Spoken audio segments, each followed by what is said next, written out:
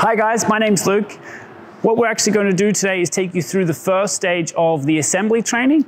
And you can see here that we have a selection of the FlexQube building blocks here. So on my right hand side, we have our two variations of the FlexBeam. We have a flex tube. We have a couple of other tubes that we use in standard builds for our carts.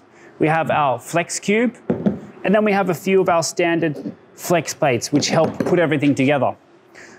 Now, what I'm going to start with is actually our flex beams that we have here. So we have two variations which need to be pointed out. So we have the first one here is the flat end flex beam.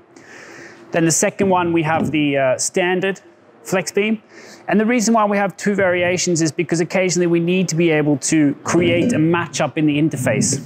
So if you take two of the standard flex beams and line them up so, let's move this way, then you take a flat end flex beam you're actually able to line them up like this and get a 90 degree angle. Now, one of the other attachments that we can build on from this is that we can actually add a flex tube attachment like this and create a whole other type of joint.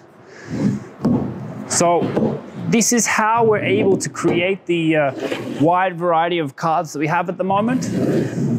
Using the majority of these is the flex beams. And this is our robust, most robust part that we have in our collection. The second building block that I'd like to point out is our flex tube. Um, and this can be used for a wide variety of things. It can be used for hangers. It can be used to help guide and help the material stay within the cart.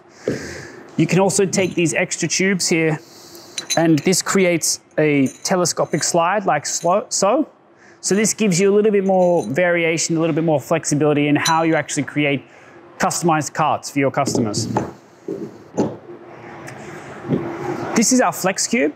Now, this is one of the original couplings or interfaces that we had to help keep all of the attachments together. So you can see behind me that we have a wide variety of attachments, but they all have the patented FlexQube concept interface put into these. Now, the reason why we focus so much on the number seven is because we actually add in seven centimeter increments all through these. So it's a little bit easier to see here on the FlexQube, but you can also see it all the way along the sides here are the flex beams as well.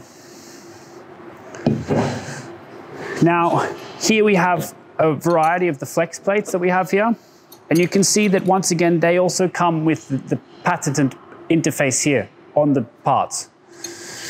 Now we also have a half flex plate here. So this is just a way for us to make it easier to put all of the parts together and outline these in an easier way. So you would add them like so, and you can create an attachment.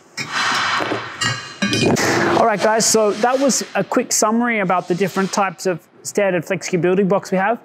In the next few videos, we'll show you uh, the different types of attachments or the joints that you can make with some of these building blocks that we have here. Thanks very much for watching, guys.